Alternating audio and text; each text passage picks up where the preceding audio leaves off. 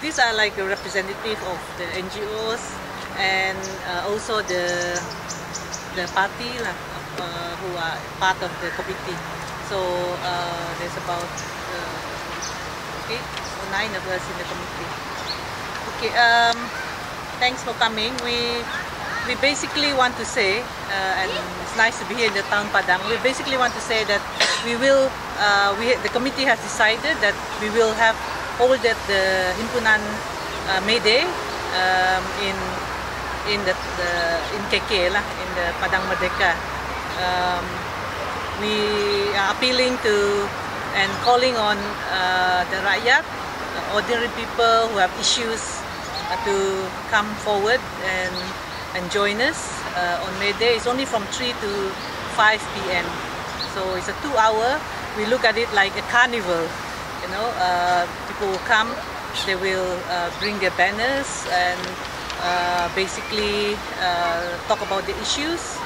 Um, but at the same time, the, they will make a statement of uh, what what is important in terms of the different issues for them. So um, we have issued earlier statements, and I think you have been updated on that. Uh, today we just want to say, you know, this is a beautiful Padang. We want to look at it where, uh, and we still want to hope. We are still hoping that the authorities will allow us to use uh, the Padang inside here itself.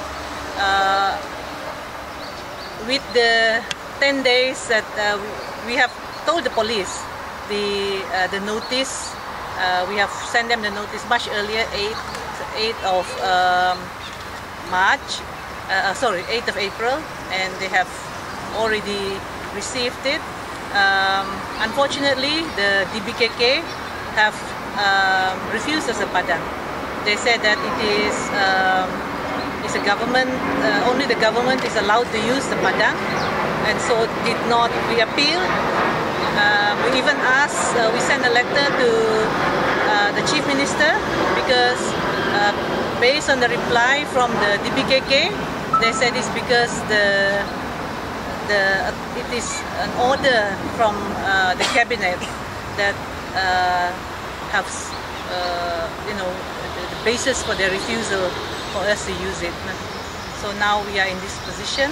Um, we still we have talked to the police, and uh, yeah, uh, we we are we are waiting. We're still hoping that uh, nothing will stop us from being used uh, using this place. Um, of course, um, the police yesterday have uh, when we talked to them yesterday have said that you know this uh, it has to be the basis for them to, to do that. But in my opinion, it is not the police, uh, the it is the police, the Ketua Polis Daerah, or you mean the uh, KKOCPD, who can make a decision. You know, he can say that uh, yes, uh, he can uh, regulate the traffic. That's their work, you know. Um, but then we are uh, waiting in terms of whether, well, the DBKK, the Chief Minister will give his answer. Yeah, thanks. Maybe my other friends. Just want to add, as citizens of this country and as residents of Kota Kinabalu, we have all the rights to use this facility. This is a public domain. So there's no reason to try to stop us from exercising our rights. This is civil societies. We are a, a group composing with different NGOs and, and CSOs.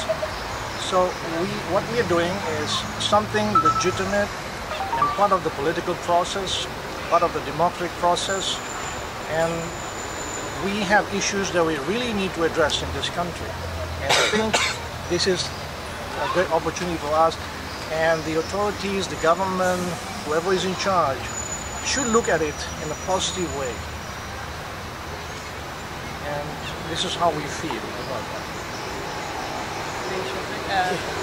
Uh, di peringkat kami anak muda, anak muda Sabah, kami merasakan himpunan ini perlu untuk kita hadiri terutamanya anak muda dan kami bersama-sama bersih dalam penganjuran ini untuk terus menggerakkan gerak, menggerakkan rakyat, mendepankan isu terutamanya banyak-banyak isu yang yang berlaku sekarang lagi-lagi melibatkan anak muda iaitu uh, GST kita akan kemukakan pada hari ini dan saya rasa 1 Mei merupakan satu pesta, hari pesta Ya. kepada semua rakyat. Sesiapa berhak untuk turun. Dan di peringkat kami anak muda kami yakin bahawa polis adalah profesional. Kita anggap polis profesional dan polis mampu membantu untuk mengawal keadaan dan memberi memberi keadaan yang selesa, selesa dan aman dan kita pastikan perhimpunan ini adalah aman. Bagi kita, kita adalah aman, kita datang dengan aman dan kita bersurai dengan aman. Itu sajalah daripada dan sekali lagi ujungnya akhirnya saya selaku wakil anak muda saya mengajak seluruh uh, anak muda Sabah turun perhimpunan ini untuk kita sama-sama menyatakan kepada pemerintah kepada orang berkaitan tentang kita punya hak terhadap kerajaan itu sendiri. Terima kasih.